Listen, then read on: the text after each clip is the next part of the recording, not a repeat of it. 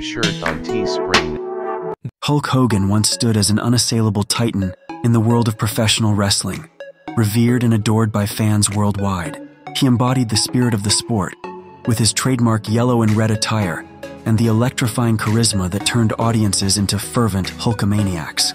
His larger than life persona resonated for more than four decades. From the roaring crowds of the 1980s to the golden age of wrestling in the 90s, where Hulk's name became synonymous with heroism and triumph. However, the tides turned dramatically in 2015 when the infamous scandal of racial remarks surfaced, altering the public's perception of their beloved hero. This was no mere slip of the tongue.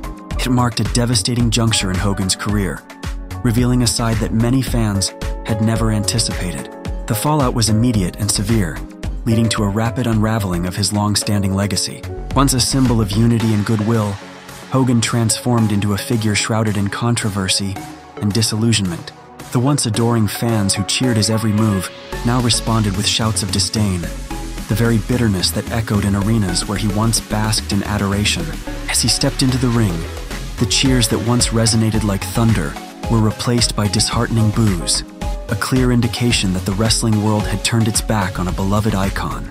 Hogan's public appearances became an exercise in endurance, navigating a landscape where the fans he once inspired now questioned his character. Beyond the racial comments, Hogan's journey included several controversies and scandals that added layers to his complicated legacy. Each incident chipped away at the facade of invincibility he had built over the decades. As Hogan faced his demons, the question loomed how could a man who once stood as an emblem of hope for millions endure through such a storm? The answer perhaps lies in the intersection of fame and fragility, where even the mightiest can fall. Yet, beneath the tumultuous waves of turmoil, Hogan's story remains a crucial lesson about the complexities of public adoration and the sharpness of redemption, urging us to recognize that legends too are human, susceptible to flaws and failures.